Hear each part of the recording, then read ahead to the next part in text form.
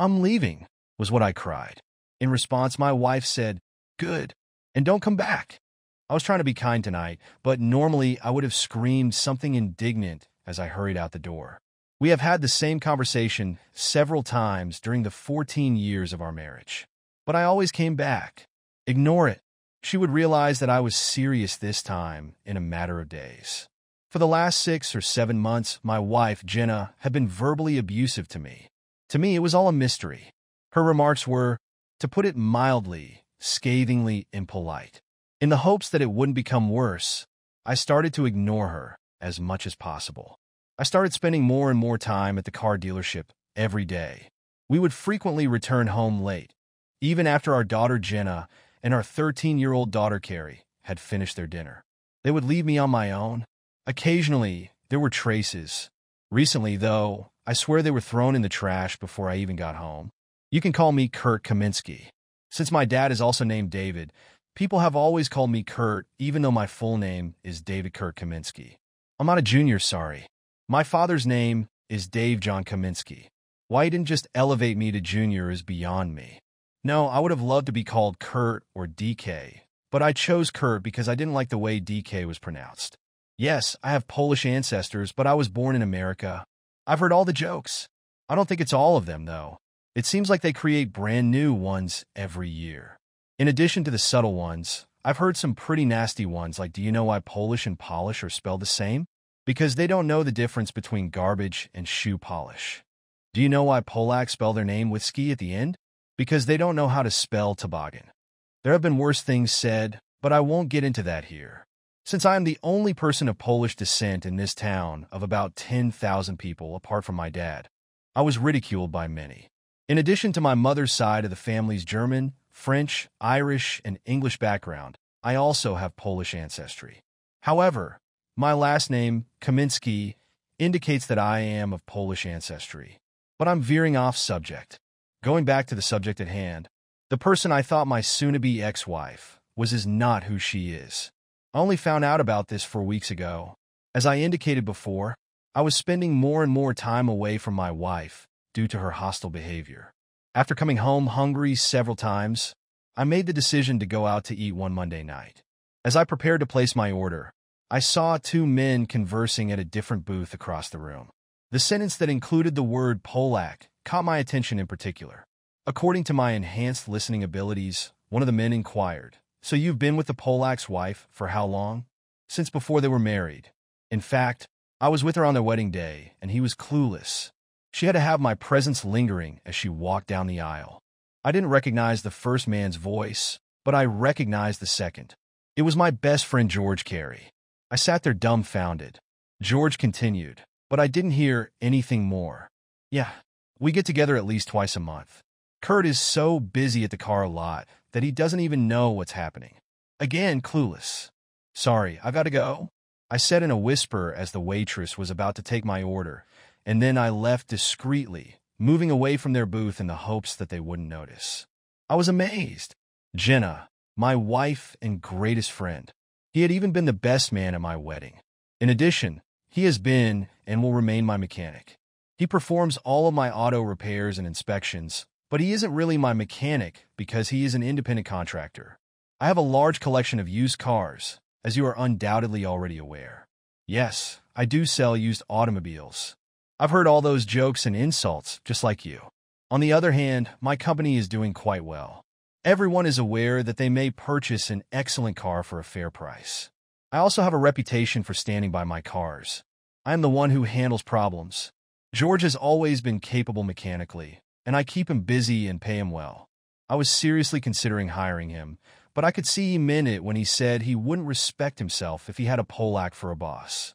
I nevertheless hired him as an independent contractor mechanic because I thought he was one. But he was not independent. To be honest, without me, he would not have been able to support himself. He would die as a result of that truth. I got into my car and drove about after I finished my lunch. I wondered, could this really be happening, or was he merely exaggerating? If he was right, they met no more than twice a month, but I could afford a private investigator. That may prove to be very expensive. However, I could review her phone logs and communications. That was my choice. Jenna was being her usual grumpy self when I arrived home. I was okay with that because I wanted to keep away from her until I found out. She fell asleep on her side of the bed, and I got up to check her email. No unusual activity was found upon closer examination. I was able to swiftly figure out our daughter's password-protected phone's combination, which was her birth date. Although I could see a number of texts that may be misread, none of them were from or addressed to George. It wasn't shocking to see his name in her contact list because he was my best friend. I thought, maybe he was just talking out of his ass. However, her recent behavior made me question whether she was ill. Maybe not with George, but with someone else. After getting into bed, I had trouble falling asleep.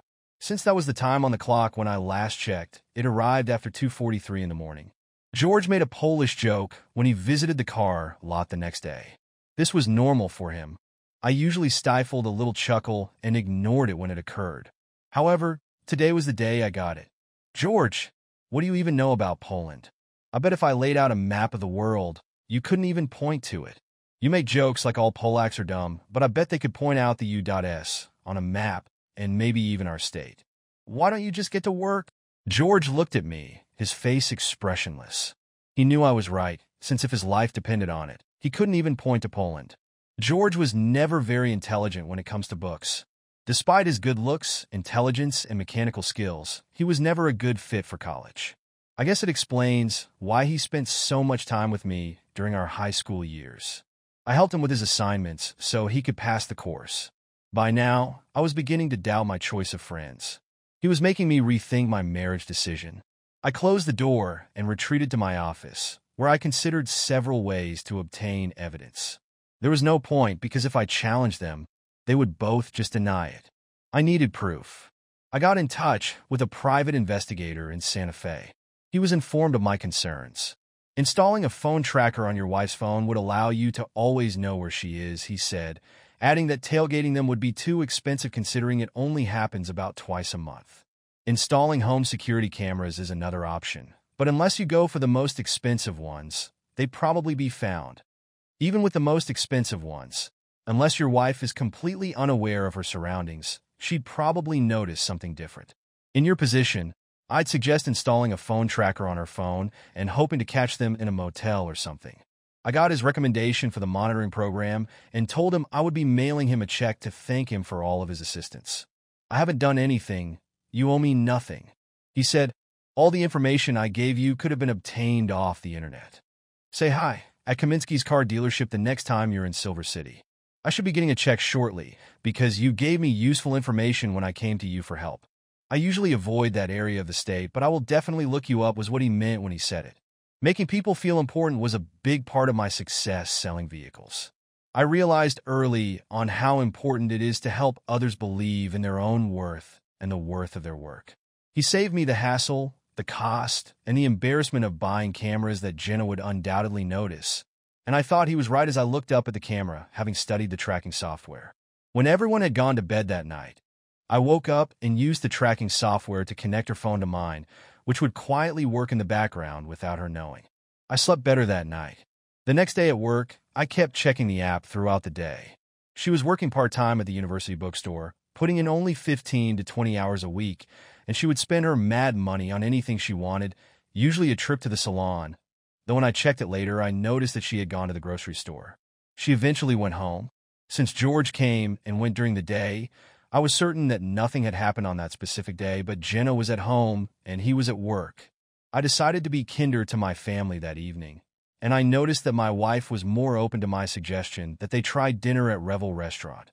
While Carrie was acting like the 13-year-old she usually is, unsure if she wants to be photographed with her parents, and she reluctantly went to the car despite my insistence. I had supper, and when I mentioned George in discussion, Jenna gave me a sidelong glance and then immediately changed the topic when she saw that I was staring at her. I wanted to know if George was telling the truth, and I had to figure something out. I didn't check her phone that night, and I couldn't see any of her conversations or messages. Either she wasn't making them, or she was deleting them right away. Thanks for going out to dinner tonight. I expressed as I climbed into bed. Kurt, thank you. It was a welcome surprise. It had been a while because, as I previously stated, our relationship had been strained lately.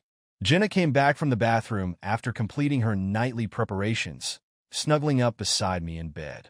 I was torn about the prospect of any intimacy with her. Would I have wanted to if she had cheated? I decided it would be best to let her initiate the conversation and then reply once I had evidence. We did go close, but it was so cliched that it isn't worth going into too much detail. For the rest of the week, I continued to check the location of her phone and found no unusual activity. And on Saturday night after she had gone to bed, I checked it again and found no texts or calls, George trying to impress a guy with stories about his life. And I was on the verge of believing him when I realized he was lying. And I knew from high school that this would not be the only time. I went back to bed and tossed and turned again, but my mind would not let me sleep, so I woke up at 2 in the morning after sitting in bed and staring at the ceiling for hours on end, and then I went downstairs to get a drink, just in case that would help me fall asleep eventually. I sat there with her phone in one hand and a tumbler glass of Jack Daniels and Coke in the other, and I decided to have another look at her phone, entering her password and birth date to access my daughter's homepage. Then I had a huge epiphany. It all came down to the day our daughter was born, we were afraid we might lose her on multiple occasions during her challenging pregnancy, and there was some debate about her RH not being compatible with my wife's. My wife's body seemed to be at odds with her inner child, and she was actually forced to stay in bed for the last three weeks of her pregnancy to make sure the baby would be born healthy. We were ecstatic when she carried us to term and gave birth to Carrie exactly nine months before to our wedding. Although she was medically healthy, she was a big pain in the ass as a baby, fussing all the time, refusing to take regular naps, and even refusing to nurse when Jenna nursed her. It was depressing, but I had to acknowledge that the kid was taking away all of our joy when my wife told me bluntly in Carrie's second year that we will not be having another one. Some couples name their babies wedding night babies after the night of the wedding or the honeymoon, when the couple got married. I mentioned it nine months before she was born. In my mind, a switch was flipped.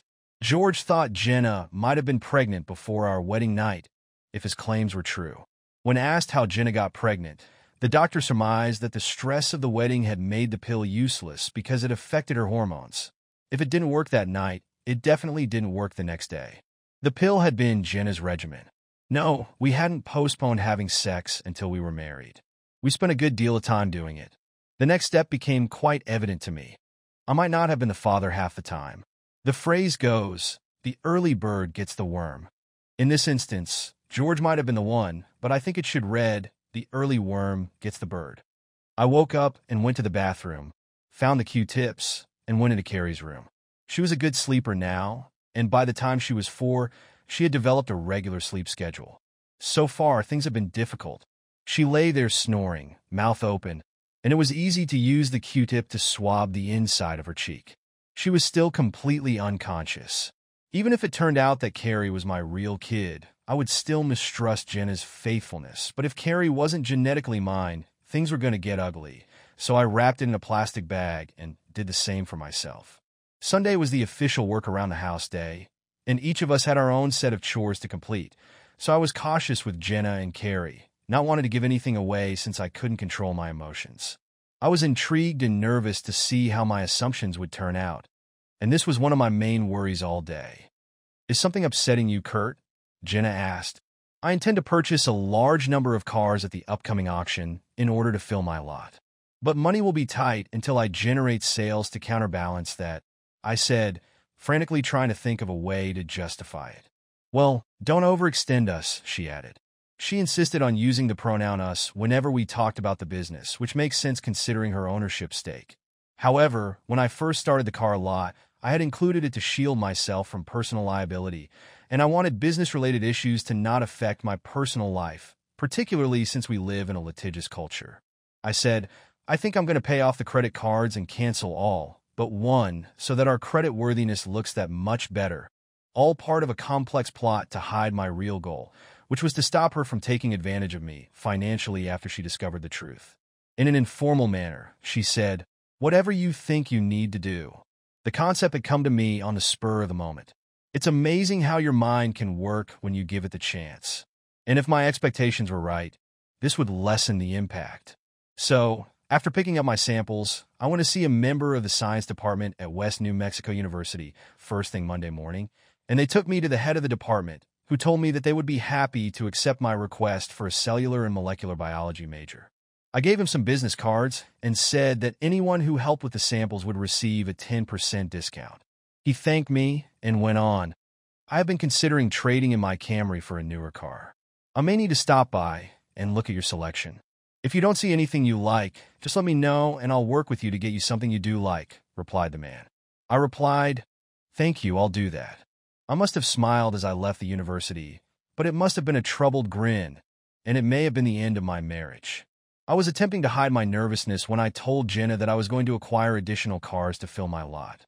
I thought, that's not a bad idea. I called Paul, my bookkeeper, loan officer, and occasionally salesman, into my office and told him about my plan. With assurance, he said, We can make it work. I want to do something else too, Paul. I want to pay off my home's mortgage. Can we arrange for me to receive a one-time payment so that I can complete that? Let me take a closer look at the financials and get back with you this afternoon. When he left my office, I thought about calling my lawyer to ask for a family law lawyer referral. You might be jumping the gun, I thought. Let's first watch the outcome. I had yet to find any proof that my wife had cheated on me. That afternoon, Paul gave me the spreadsheet and we discussed how to proceed with my two proposals. The two days were so long that I felt like I was constantly on edge while I awaited the results of the DNA test. Late Wednesday afternoon, I got a call from the department head who was on his way to check out a car and deliver the results. Upon his arrival, I ushered him into my office, and based on his expression as he looked at me, I could tell the results right away. He then raised his voice to confirm it, saying, the two samples collected are not related. He could see by the way I dropped my head that the news broke me, even though I had been expecting it and he gave me a moment to process it before slipping the manila envelope with the results over.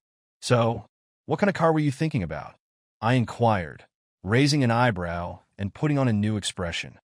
I realize this will seem cliche, but I'm searching for a sports car as I recently turned 50.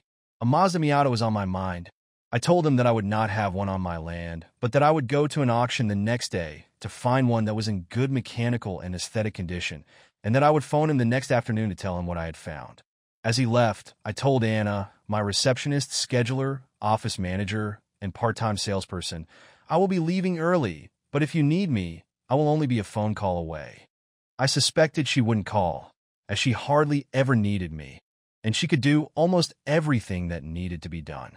I just drove around the town, taking in everything, and I noticed something different, and it's strange. My lawyer was sorry to hear the news, but he suggested another lawyer he believed would represent me fairly. So I called to make an appointment the next afternoon, went out to eat, and thought. I knew that I couldn't pretend to be ignorant, but now that I knew, I couldn't go back. Had the past 15 years of my life been in vain? I couldn't even say that I had a child from the marriage.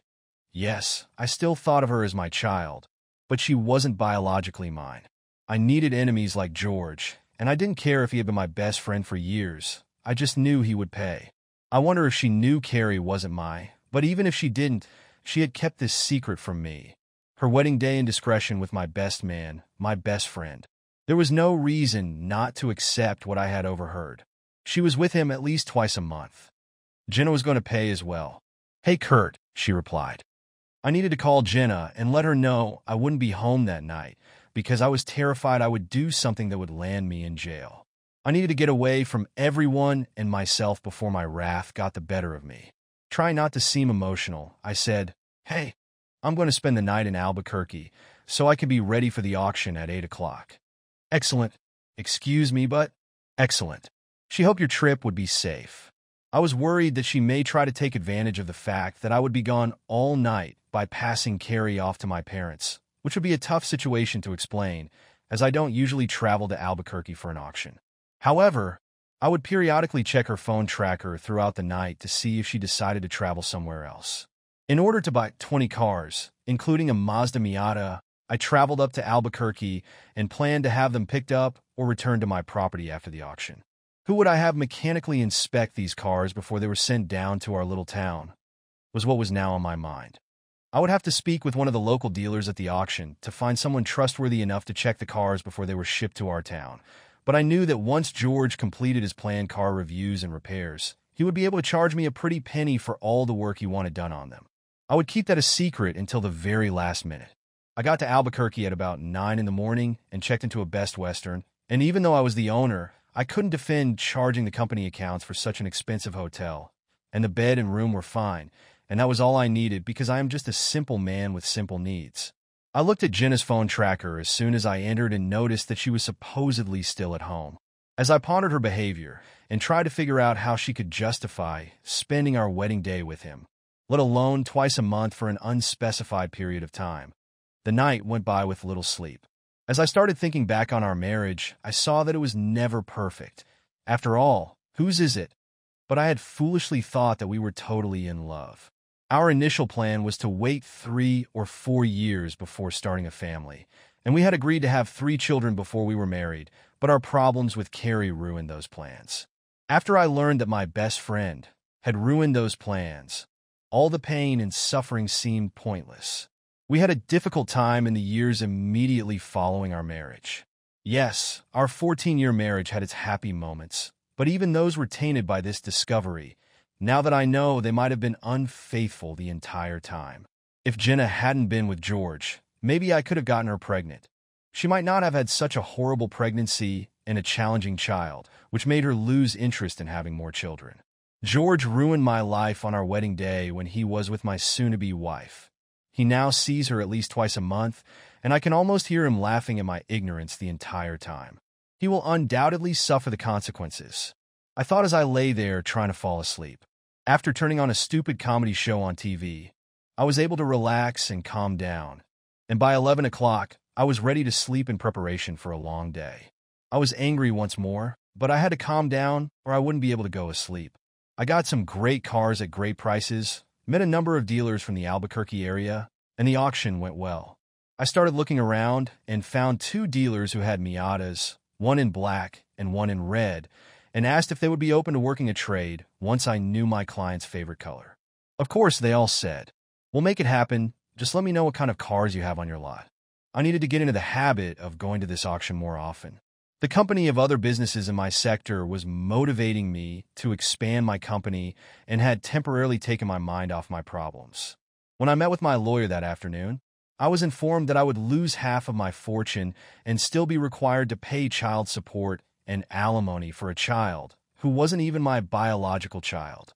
I decided then and there that I would not divorce her, but leave her with George's child and pay off the mortgage because she could not sell the house because my name was the only one on the deed, and if I stayed and paid the taxes and utilities, she couldn't claim abandonment and take the house.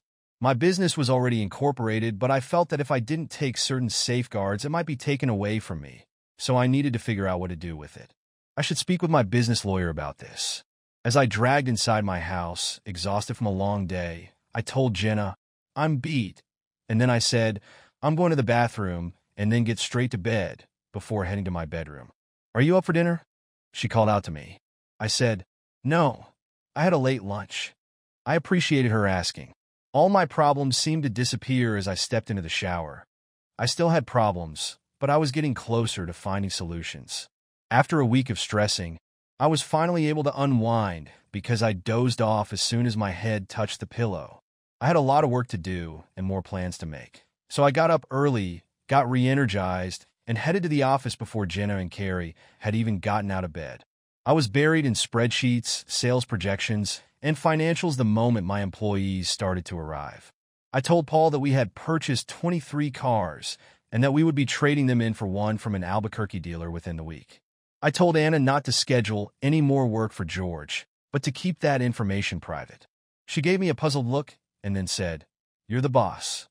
Thanks, Anna, you're indispensable. I call my corporate lawyer at 9 in the morning to ask him for some guidance. She might be able to pressure you into selling it for half its value, even if you've established a business. Have you thought about selling it before? No. Would it be required? It would keep the business out of her hands, he said. This business is my life. I couldn't get rid of it, he responded. I'll give you a call later this week. I need time to reflect and gather facts. I had worked so hard to build my business, so hearing the news upset me. Unlike Carrie, it's my baby. Now I was thinking to myself, I was becoming angry again. Successful businesses must be able to compartmentalize and multitask. I had to put my personal problems aside and go back to work. Doug was the head of the department that had confirmed George's assertions, and I had to contact him right away. Douglas Kurt Kaminsky. I have included two Miatas that might be of interest to you. There are two hues, black and crimson. Have you thought about it more? If the price is right, he replied. Which shade would you find appealing? I'll bring it here for you to review, and then we'll talk figures. I'm sure I can sell it quickly and simply if we can't agree on a price. What do you believe would be the best option? He asked a direct question. Every choice has benefits and drawbacks. Red is still a very striking color, even though it is more ephemeral than fire engine red. Despite its exquisite appearance, black may get very hot in our surroundings. I have to ask, will you keep this car in a garage while you're not using it? Yes, I can do that. Fading won't be a problem because the red one won't get much sunlight. Unless you think black is more your style, I'd go with it. Red sounds fantastic. When will I be able to see it? Is Tuesday or Monday more convenient for you? Sure, call me when you get it in. Will do. After hanging off the phone, I called the dealer who owned the red one to arrange a trade, and he noticed one of the BMWs on my lot and thought he would sell it in the city after three months of sitting. By now, George was in. A few of his cars still needed work, and since he was an independent contractor, I didn't mind if he came and went as he pleased as long as the job was done when I needed the car. He heard two of the salespeople talking about the 23 automobiles that will soon be on our lot, and he came into my office and said, Hey, Kurt, when are those cars coming in from the auction? I want to make sure that I arrange my schedule so that I can finish those for you. They're being shipped down here by the auction house. I found it difficult to deal with the betrayal calmly, but he stated it will be sometime late next week or early the following week. Okay, I'll get with Anna and have her get me on the schedule, he said. When he left, I let out a silent laugh. I did my best to stay away from Jenna during that weekend. And even though she had her phone tracker turned on, I didn't look at it because, at this point, it didn't matter to me. Having someone else's child raised by me was completely unacceptable, and all I could feel for her was disdain. I went back to the car lot on Monday, called the dealer in Albuquerque, and told him I was going to drive the BMW up to pick up the Miata. Great, he replied. We'll have a late lunch when you get here. I told Anna that I would be gone all day because it was a lovely day for a drive and asked her to hold down the fort. She answered, Okay, boss, and she was vital. As I had the thought, I need to give her a raise. The ride was pleasant, as was lunch, and the other owner made me feel quite welcome, as if I had found a new friend. I decided to call the other dealer and have them bring me the black one, because I needed to let loose a little, and I won't be in need of anything more than a two-seater anytime soon. And I was having a great time driving the Miata on the way back with the canopy down and the wind blowing through my hair. Jenna must have mentioned something, because when I rolled the red sports car into our driveway, both Carrie and Jenna got out to see what Jenna had seen through the glass. Why do you have this car, honey? she said sarcastically. You are aware that we require a vehicle with a rear seat for Carrie. I just picked it up for a customer from Albuquerque. I told her, I thought you both might like a ride in it. The idea was gently rejected by Jenna, who said, No, honey, I don't like small cars. Carrie, I questioned my daughter that I motioned for her to come in. She said, No, Dad, being made fun of for my last name is already awful enough. She said, I don't want to be seen riding around with Polak, the used car salesman, in a way that is typical of teenagers. I was shocked, to put it lightly, and wondered what had caused this disrespect. Jenna acted as if Carrie had done nothing wrong while I looked at her. Wow, both of my female household members are now disrespecting me. Despite my knowledge that children shouldn't be best buds with their parents, her hurtful remarks clouded the dynamics of my entire family. All right, I'm going to try again. After saying, I'll be right back, I put the car in reverse and drove off. As I drove around the Silver City area, I was furious because my marriage was rapidly failing. As soon as I parked into the driveway, which was around 9.30, I hurried upstairs, jumped in the shower, and hopped into bed. I strained my eyes tight because the hallway light was shining directly into my face, and I hadn't even gotten out of the shower before Jenna climbed up and entered the room. What? We didn't fawn all over the sports car, and that hurt your feelings. You're not going to spend time with your family downstairs? You're a baby in addition to being a Polak. Where did this attitude come from? I thought it was George's voice. He's been hanging around her, and his disdain for my heritage has been affecting her. Now she's passing it on to her child. Not mine. But her daughter. I should really think about that. She wasn't my child, but I would probably have to be by her side. You can just leave as it seems that you and your daughter would prefer not to have the Polak around. She was making things worse with her attitude, and I was mad. Whoever it was that treated me like that would regret it deeply. Needless to say, the Kaminsky home was silent and chilly from that moment on. When I called Doug the following day, he came over to look at the Miata and was thrilled. We discussed the numbers, and he was amazed at the amazing price he was getting $3,000 less than Kelley Blue Book. My closest friend oversees university purchasing, and we swap out 16 automobiles roughly every two years. I understand that it's not much, but would you be open to speaking with him? He finished all the required paperwork and was ready to leave when he requested. Always glad for the business, and you know I'll cut them a deal. I told him. I'll have Jim call you later this week. I only answered, thank you. My business had taken off as a result of treating people fairly and expressing my appreciation for recommendations. Hey, Kurt, I believe I know how to solve your possible issue. Would you be able to come over and talk to me about it this afternoon? On Wednesday, I asked my lawyer. Yes, I'm excited to get this started. The environment around my residence is becoming increasingly intolerable. I listened carefully in that meeting and felt the plan was sound. If it worked, the two weeks it would take to put it into action would be worth it. George was counting down the days until he could bill me for the work he had done on those 20-odd cars, and I would put him off just by asking. During those two weeks, I meticulously packed up everything I owned, including tools, and moved them to an apartment in a nearby town. I cleaned out my dressers and closet while Jenna and Carrie were out of town, and I used that final weekend to do some yard work. For Jenna, having her laundry done during the week was the key to a free weekend, so it worked out well for me because she wouldn't see me throwing out all my clothes. Which brings to mind that I told Jenna, I'm going on Monday evening. My Polak heritage and my work as a used car salesman had once again been the reason for her contempt and animosity, and my use of a name was an escalation, a word she hated, and I told her I was going when she lost her anger. I used to stay at least one night in a motel when I was really angry.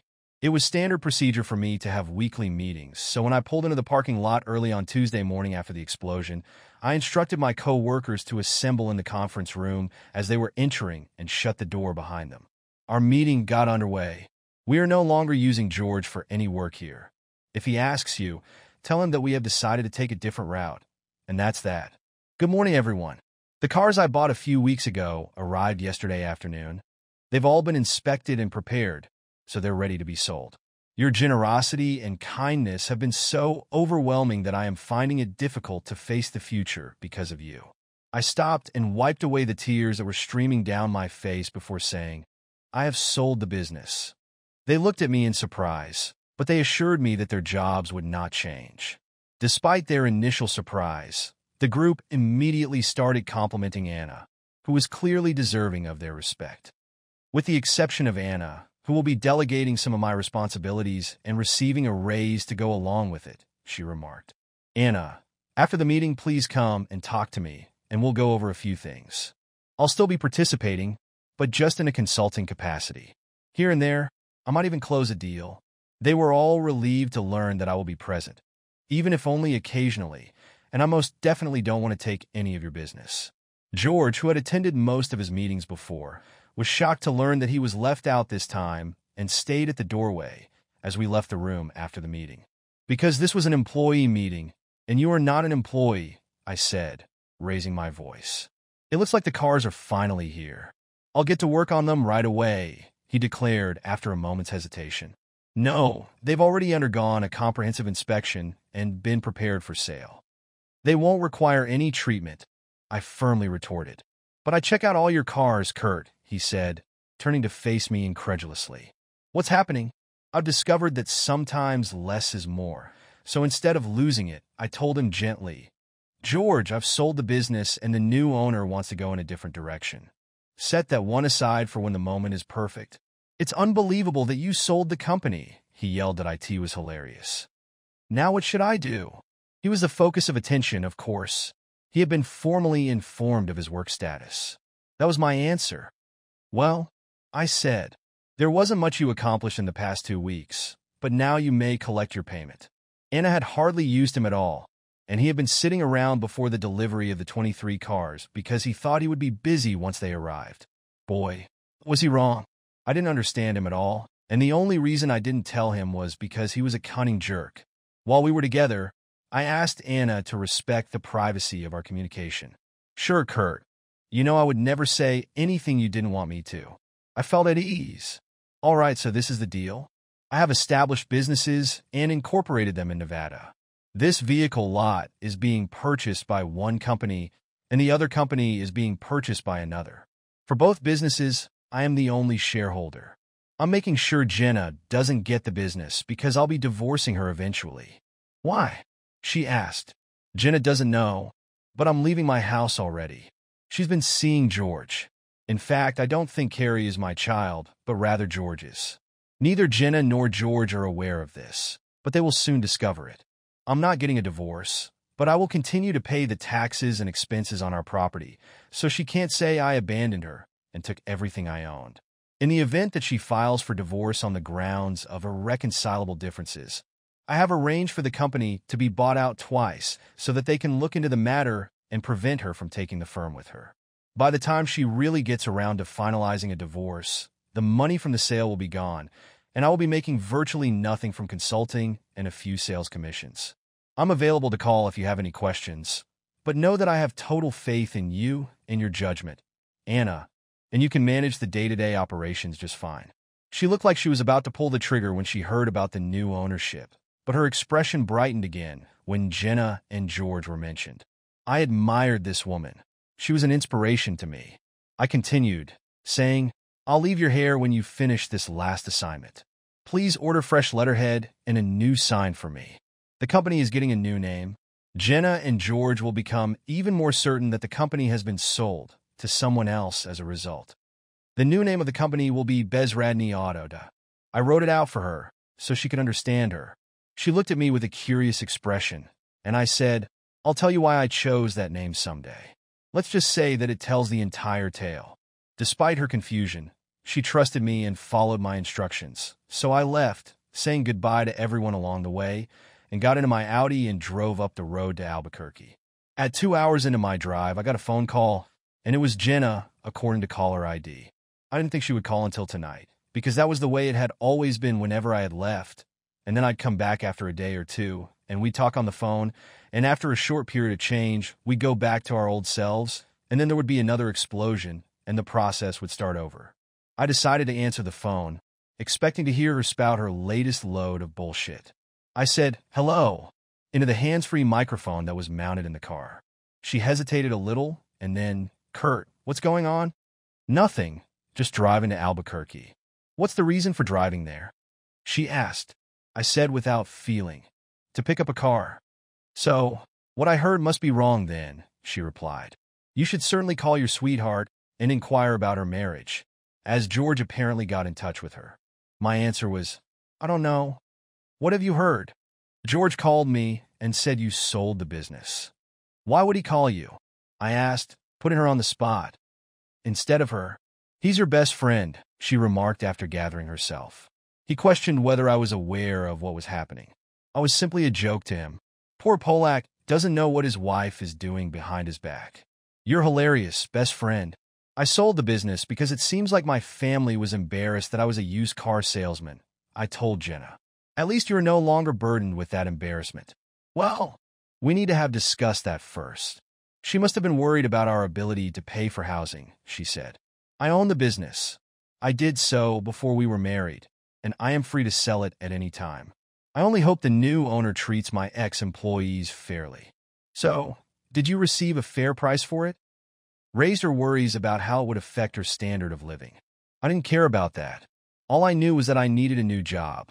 After taking a few weeks off to unwind, I'll start looking around. But what about the mortgage? she asked. Well, I used the proceeds to pay off the house, so that's out of the way. The only things left to pay are the utilities and taxes. How about the food? But gas? Is insurance a possibility? She talked almost frantically. My complete indifference for their existence suggests that I am a naive Polak. Would you be willing to work extra hours at your current job? When will you be going back home? Her nervousness was evident as she inquired. The moment had now arrived for me to firmly state, I'm not. What the devil? I told you the other night that I was leaving. I'm not coming back because of your warning. I'll find a way to pay all the bills so the lights will stay on. I could sense the desperation in her voice as she said, Kurt, that is impossible. You must return. I replied in a deadpan tone, No, I really don't. She cried and said, Kurt, please don't do this. To which I said, I already have. What about your young daughter? She asked in an effort to evoke strong feelings in me. Are you talking about Carrie, the girl who goes by her maiden name and is ashamed that her father used to sell used cars? The girl is merely acting like she's older, Kurt. You must not allow that to harm you. To be honest, it no longer has much of an impact. In order to spare you from feeling degraded by me, I will not be coming back. Knowing that she was likely trying to call me again and would be upset that I wasn't returning her call, I let her think about it for a while before hanging up and turning off my phone. After my phone call, I tried to relax by thinking about the beautiful drive to Albuquerque, and I guess that she then called her partner to get further information and to let him know what I had said. When I finally got there, I turned on my phone once more and saw five messages, which I listened to, three from Jenna, one from George, and one from Anna, whom I immediately called. I apologize, Anna. I didn't have my phone on. I wasn't interested in the calls I was getting. Oh, I see. George and your wife have been calling me to see how you're doing. I informed them that since they no longer owned the place, they no longer needed to check in. I hope that was all right.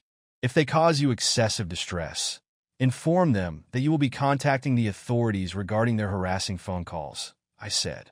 It may seem like you have no one to turn to for support, but trust me when I say that you do, Kurt. You may always count on us as your family, she said. Inna, you were exactly right. I truly appreciate that. I hope your husband appreciates his wonderful fortune. Believe me, he knows. He keeps me updated. You have to hold on to that at all times. Never let go, and hold each other close to your heart. Don't intend to, she had said. I hung up, debating whether to confront the cunning jerk or my cheating wife. When I got out of the Audi, the owner was waiting for me in the car lot office. I've got the Audi I told you about, he said. Would you like to look into the possibilities of a trade? Let's come take a look. I could sell this in a week. He turned to me and said, Would you still like to proceed with the trade? I was amazed with the condition of the vehicle, both inside and out and under the hood. I feel like I'm winning in this situation. You can repay the kindness at a later time. I'm not here to make money. I want to buy a sports car. 30 minutes later, I was back on the road, enjoying the ride with the top down, and all I had to do was figure out where to go. North seemed great, so I went to Santa Fe.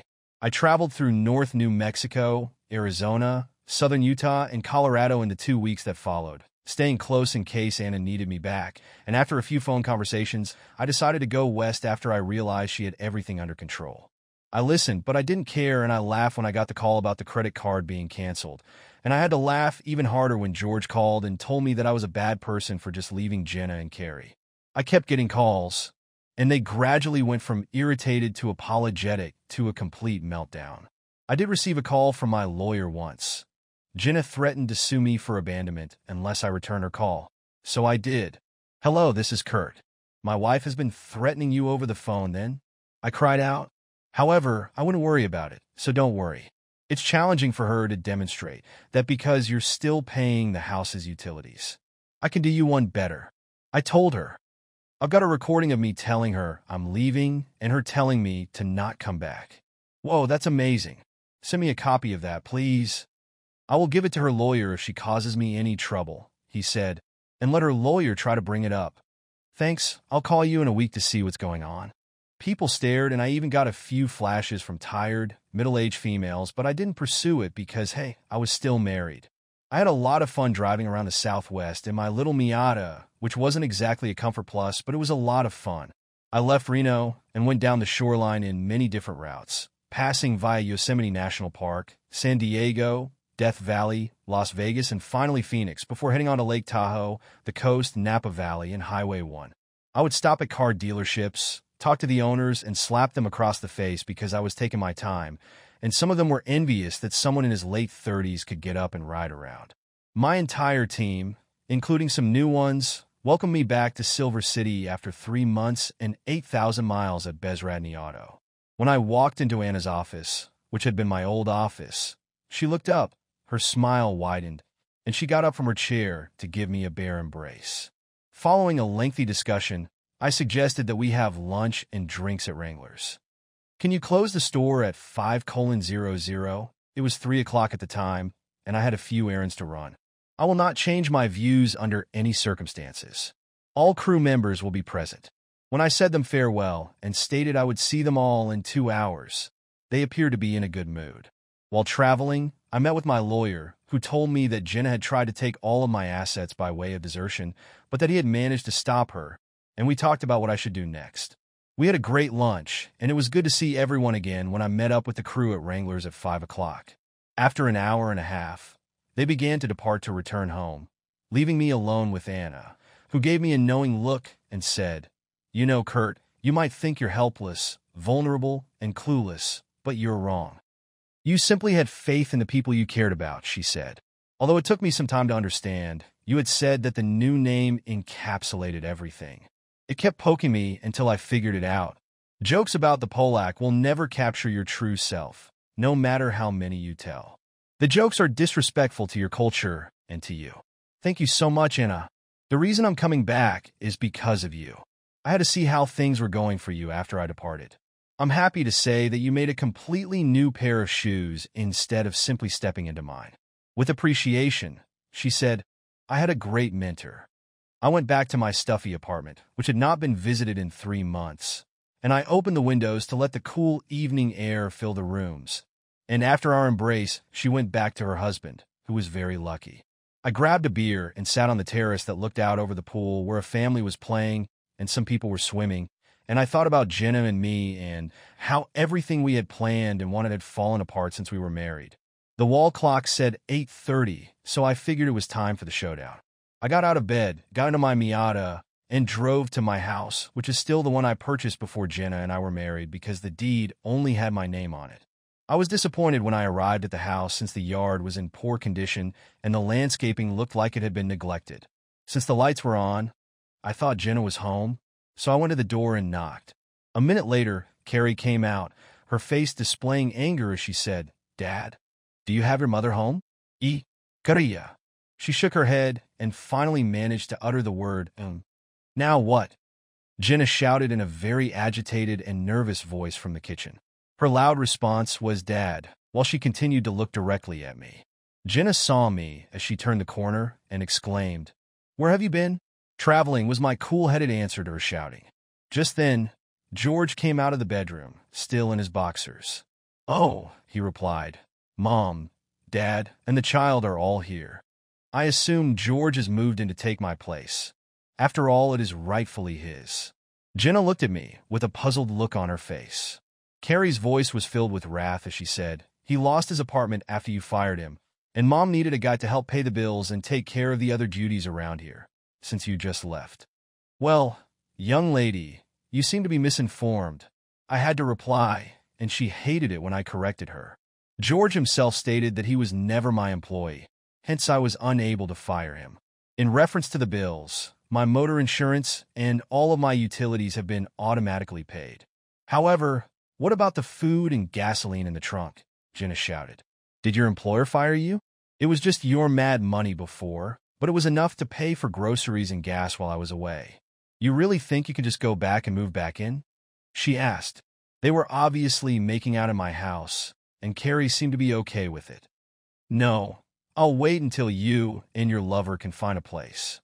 Jenna declared, I'm not moving out of my house. Pardon me, but this is my house. The deed just has my name on it, and it was mine prior to our marriage, I said. Well, you left, so now it's mine. The law will not allow you to do that. Since I have been paying the taxes and utilities, I am still regarded as the legal owner despite my brief absence.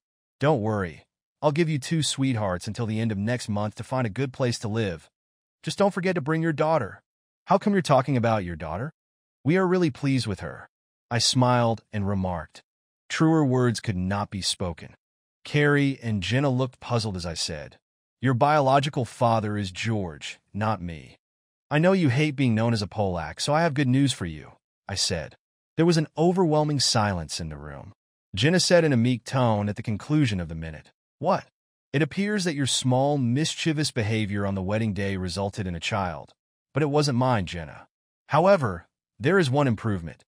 You can now legally go by your biological father's last name, Carrie Carey. I wonder if Mom's insistence on the name Carrie wasn't an attempt to honor her boyfriend. Jenna turned to George, who looked as white as snow, as we caught eyes. George, I assumed you wanted to have children. It's a shame. Accept the challenge. Consider it this way.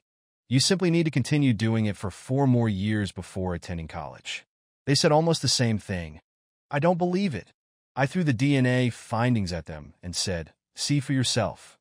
After grasping it and examining it, they both fainted. Carrie, Tell the lovebirds that your mom will be served divorce papers sometime next week along with an eviction notice. I turned around and walked off. During my absence, I couldn't help but wonder if she had ever been faithful to me and if the affair had continued throughout our marriage. I thought she chose me, but was that true? We met when she came in to buy a car. George was fixing one of them, and we both thought she would be interesting to date. I was really Bezradny, which means that I was naive, helpless, and vulnerable. George would laugh at me behind my back and crack jokes in Polish while I was speaking. I took a car back to the flat and got a beer or two. I knew we would have to sell the house and split the proceeds, but I assumed that as a low-income guy with someone else assuming my job, I would not be required to pay child support or alimony. So I went to see my lawyer first thing in the morning and had him start the paperwork. It would be a long time before I trusted anyone again, male or female, and the betrayal was shocking. I also liked Jenna and George. Maybe I need therapy. When I went back to work at the car lot, this time as a salesman, the divorce was already underway, and I made it plain to everyone that I was no longer in charge and that I could make ends meet with just one sale a week to pay my rent and groceries. In fact, I was pretty demanding on just one, so that at the end of the month there would be no money left over for anything but my own meager living expenses. I don't know how Jenna could afford a lawyer. Maybe he was operating on contingency. Boy, was he going to be startled they looked into my bank accounts and found that I had spent the sale profits. They even looked into the transaction itself, but they couldn't find anything wrong. Word got around the sales department while I was away that George had been going to Anna almost daily for the first two weeks in an attempt to find work, and that Anna had no trouble telling him no each time, so he finally gave up. He was now regretting not getting his ASE certification because the only job he could find paid $13 per hour at a Valvoline quick oil change. I sincerely hope Jenna went full-time, because otherwise they would be struggling to make ends meet. Since Jenna had already received the eviction notice, she would have to leave the property before it sold and closed. So I hired a real estate agent and informed her that I intended to sell the house and split the money equally between us. One night, Jenna knocked on my door, of all people. What are you looking for? I said as I opened the door and met her gaze. Kurt, would you like to have a conversation?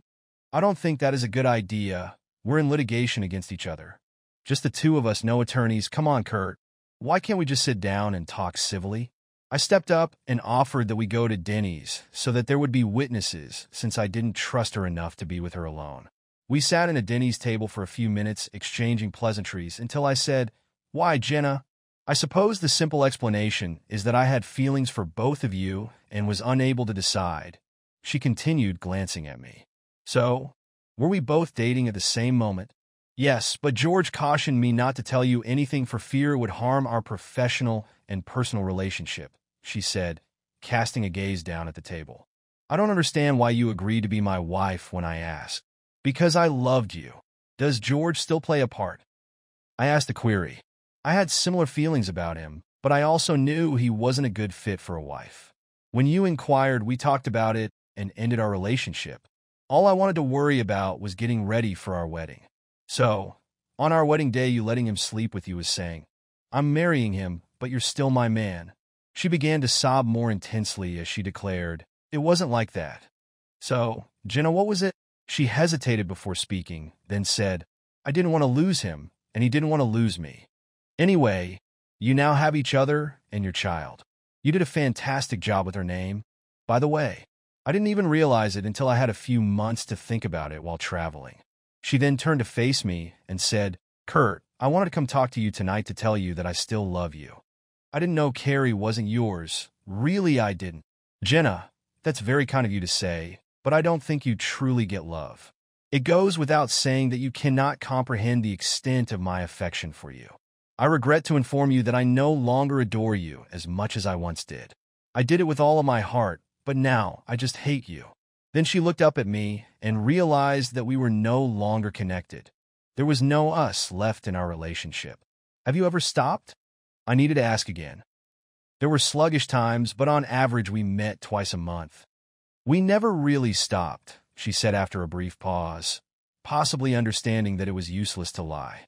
I was relieved that she told me the truth, even if I had hoped for a different answer. One more thing, please. Why you started treating me so badly about a year ago is beyond me. There was a total change in your attitude. The outside was blatantly disrespectful.